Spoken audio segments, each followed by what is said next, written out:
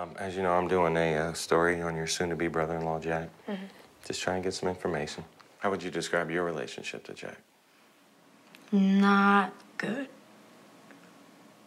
Not good. Mm-mm. What is that?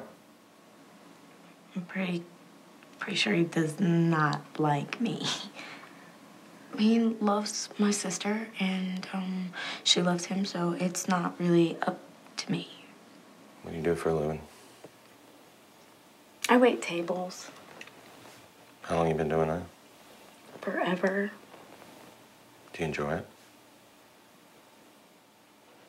No. I've heard through the grapevine that you are involved in some drug usage. Is that correct? Yeah. kind of drugs? Meth. Are you looking for help right now? Yeah.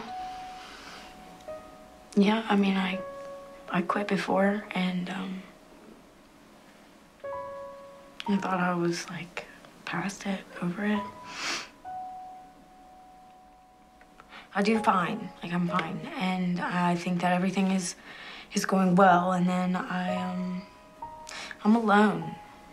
This is the only thing that I know is the only thing that takes me away from here and Jack and the embarrassment that I've caused my entire family at this point. So Why is it do you think you are alone? I mean, I'm around people all the time, but I'm alone. Why? No one understands me.